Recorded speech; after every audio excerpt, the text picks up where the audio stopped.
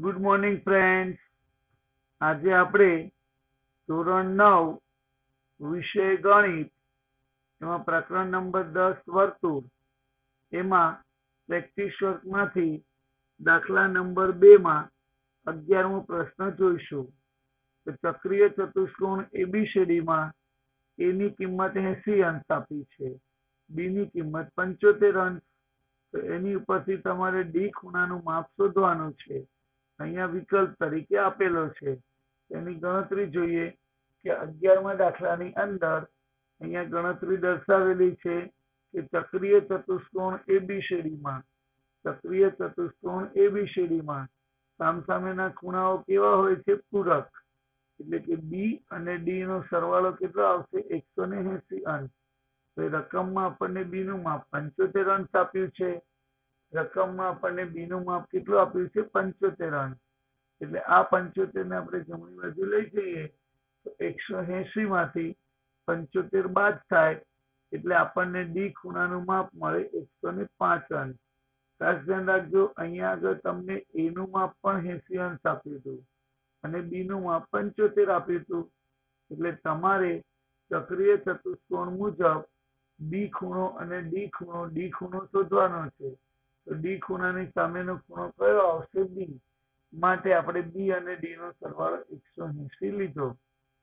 હવે મિત્રો ખાલી જગ્યા નંબર બાર જોઈએ. ખાલી જગ્યા નંબર બારની પેલા રકમ જુઓ કે પી કેન્દ્રિત વર્તુળની જીવા એબી ની લંબાઈ આઠ સેમી અને વર્તુળની ત્રિજ્યા આઠ સેમી છે. તો એપીબી આગળ કયો ખૂણો બને? તો ખાસ ધ્યાન રાખજો, જીવાની લંબાઈ અને વર્તુળની ત્રિજ્યાનું માપ સમાન આપે તો આ રીતે સમબાજુ ત્રિકોણ બનશે. અહીંયા એક વર્તુળ દર્શાવ્યું છે પી કેન્દ્ર વાળું એ બી એની જીવા છે, જેનું માપ આઠ છે. અને પીએ અને પીબી વર્તુળની ત્રિજ્યા છે. એનું પણ બંનેનું માપ કેટલું આપ્યું છે? આઠ આઠ. માટે પીએ બરાબર પીબી બરાબર ત્રિજ્યા આઠ સેમી. અને જીવા એબી નું માપે કેટલું છે? આઠ સેમી. એટલે બંને ત્રિજ્યાઓ પણ આઠ સેમી જીવા એબી આઠ સેમી. માટે ત્રિકોણ પી એ બી સમબાજુ ત્રિકોણ છે એવું કહેવાય. અને સમબાજુ ત્રિકોણમાં દરેક ખૂણાનું માપ કેટલું હોય? સાહીઠ અંશ માટે ખૂણો એ, પી, બી, એટલે કે કેન્દ્ર આગળ બનતો આ ખૂણો, એનું માપ કેટલું આવશે? સાહીઠ અંશ કેટલું માપ આવશે? અંશ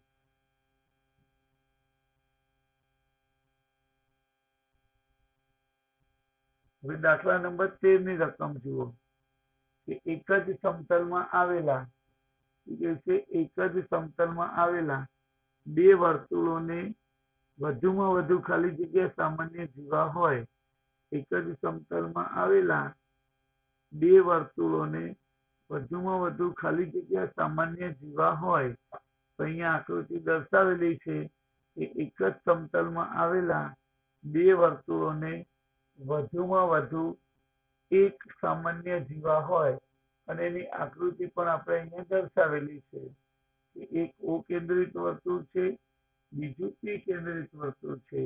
બંને વર્તુળ આ રીતે એ અને બી એમ ભિન્ન બિંદુમાં છેદે એ અને બી ને જોડતો રેખાખંડ એ બંને વર્તુળની સામાન્ય જીવા થાય, એટલે આપણે કહી શકીએ કે એક જ સમતલમાં આવેલા બે વર્તુળોને વધુમાં વધુ એક સામાન્ય જીવા હોય. હવે ચૌદમો પ્રશ્ન જોઈએ.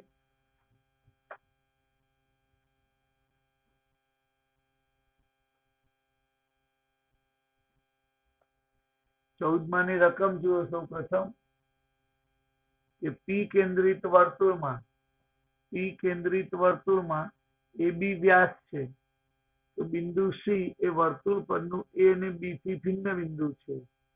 જો વર્તુળની ત્રિજ્યા ચોત્રીસ સેમી અને એસી નું માપ બત્રીસ સેમી હોય, તો બીસી નું માપ આપણને શોધવાનું કીધું છે. તો સૌ પ્રથમ એની આકૃતિ અહીંયા જુઓ, ગણતરી દર્શાવેલી છે. એક પી કેન્દ્રિત વર્તુળ છે. એમાં એબી વ્યાસ દર્શાવેલો છે. અને બિંદુ સી એ વર્તુળ પરનું એ અને બી સિવાયનું ભિન્ન બિંદુ લીધું છે. વર્તુળની ત્રિજ્યા ચોત્રીસ સેમી છે. ત્રિજ્યા આર ચોત્રીસ સેમી. એની ઉપરથી વ્યાસ એ બી એનું માપ કેટલું આવે તો ત્રિજ્યા કરતા ડબલ. તો ચોત્રીસ ને બે વડે ગુણો તો ચોત્રીસ દુ અડસઠ સેમી આવશે. એટલે અડસઠ સેમી શેનું માપ આવ્યું? વ્યાસનું માપ. હવે આપણને અહીંયા આગળ એ સી બી અર્ધવર્તુળમાં અંતર્ગત ખૂણો છે. એસીબી એ અર્ધવર્તુળમાં કેવો ખૂણો છે? અંતર્ગત. કે અર્ધવર્તુળમાં અંતર્ગત ખૂણો હંમેશા કેવો હોય? કાટખૂણો માટે એસીબી નું માપ કેટલું આવશે? નેવન એટલે પાયથાગોરસ નિયમ મુજબ અહીંયા એસીબી નેવું થાય. એસીબી નેવ થાય એટલે એબી શું થશે? કર્ણ એટલે કાટકોણ ત્રિકોણ એસીબી માં કર્ણ એબી એનો સ્ક્વેર બરાબર કાટખૂણો બનાવતી બાજુ એસી અને બીસી છે. એટલે એસી સ્ક્વેર વત્તા બીસી સ્ક્વેર તો એબી નું માપ છે અડસઠ. પછી એસી નું માપ કેટલું છે? બત્રીસ. અને બીસી નું માપ આપણે શોધવું છે.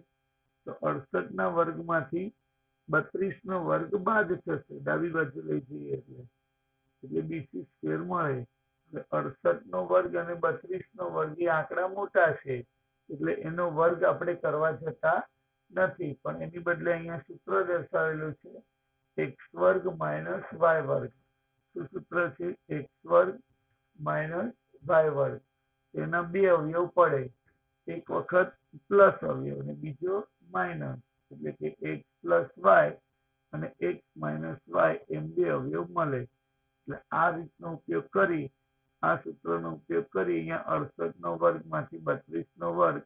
એના બે અવયવ પાડેલા છે. એટલે અડસઠમાં પેલા બત્રીસ ઉમેરીશું. પછી અડસઠમાંથી બત્રીસ બાદ કરીશું. તો અડસઠમાં બત્રીસ ઉમેરીએ એટલે કેટલા આવશે સો.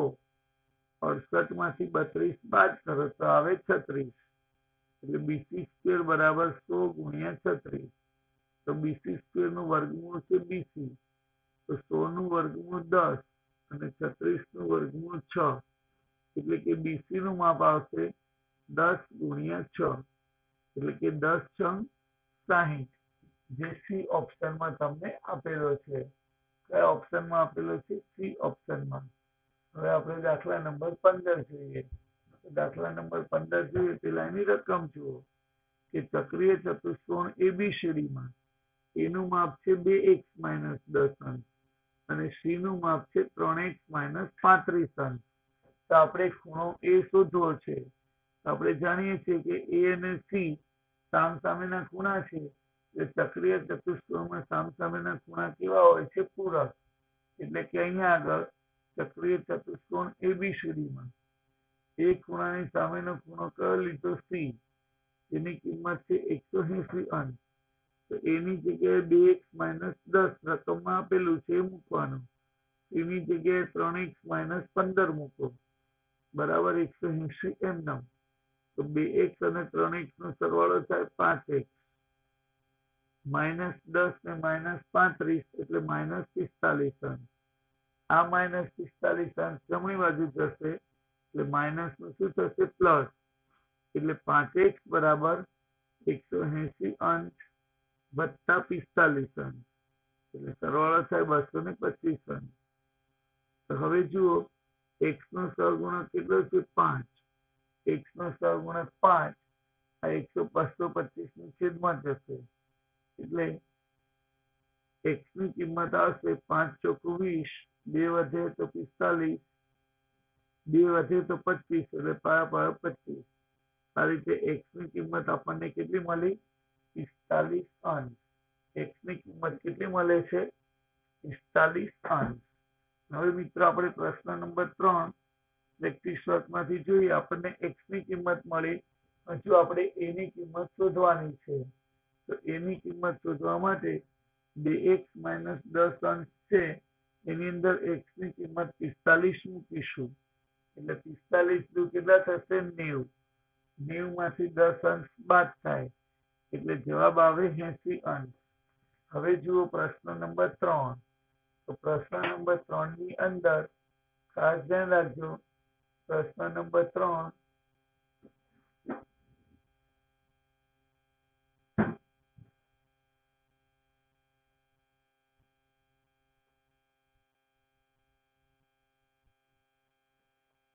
પ્રશ્ન નંબર ત્રણ ખાલી જગ્યા પૂરવાની છે. કે કેન્દ્ર અને વર્તુળના કોઈ પણ બિંદુને જોડતા રેખાખંડને કેન્દ્ર અને વર્તુળના કોઈ પણ બિંદુને જોડતા રેખાખંડને વર્તુળની ત્રિજ્યા કહે છે. તો જવાબ શું આવશે? વર્તુળની ત્રિજ્યા. બીજી ખાલી જગ્યા, વર્તુળ પરના કોઈ પણ બે બિંદુને જોડતા રેખાખંડને વર્તુળની ખાલી જગ્યા કહે છે. તો જવાબ શું આવે? જીવા. વર્તુળ પરના કોઈ પણ બે ભિન્ન બિંદુને જોડતા રેખાખંડને વર્તુળની જીવા કહે છે. હવે જુઓ, પ્રશ્ન નંબર ત્રણ.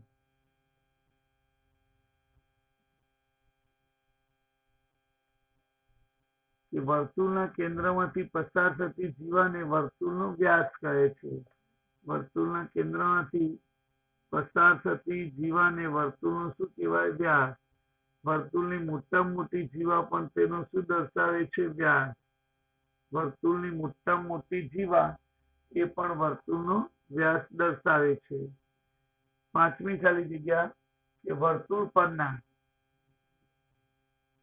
વર્તુળ પરના બે બિંદુઓ વચ્ચેના વર્તુળ પરના બે બિંદુઓ વચ્ચેના વર્તુળના ભાગને વર્તુળનું ખાલી જગ્યા કહે છે તો જવાબ આવશે ચાપ વર્તુળ પરના બે બિંદુઓ વચ્ચેના વર્તુળના ભાગને વર્તુળનું ખાલી જગ્યા કહે છે તો જવાબ આવશે ચાપ.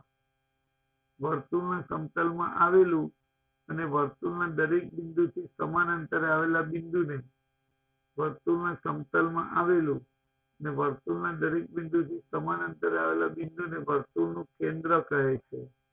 શું કહેવાય? વર્તુળનું કેન્દ્ર. વર્તુળની પૂર્ણ લંબાઈને વર્તુળનો પરિઘ કે વર્તુળની પરિમિતિ કહેવાય.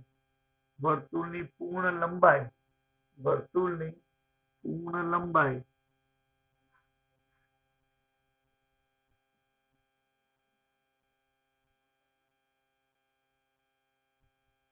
વર્તુળની પૂર્ણ લંબાઈને વર્તુળનો પરિઘ કહે છે. આઠમું વર્તુળના કેન્દ્રમાંથી જીવા પર દોરેલા લંબ, દોરેલ લંબ વર્તુળના કેન્દ્રમાંથી વર્તુળની જીવા પર દોરેલ લંબ. જીવાને ખાલી જગ્યા છે તો જીવાને દુભાગે છે. વર્તુળના કેન્દ્રમાંથી જીવા પર દોરેલ લંબ જીવાને દુભાગે છે. દુભાગે છે એટલે કે બે સમાન ભાગ કરે છે. નવમી ખાલી જગ્યા. કે ત્રિકોણ એબીસી ના શિરોબિંદુઓ એ બી અને સી માંથી પસાર થતા વર્તુળને ત્રિકોણ એબીસી નું ખાલી જગ્યા કહે છે. ત્રિકોણ એબીસી ના શિરોબિંદુમાંથી પસાર થતા વર્તુળને ત્રિકોણ એબીસી નું પરિવૃત કહે છે. શું કહેવાય? પરિવૃત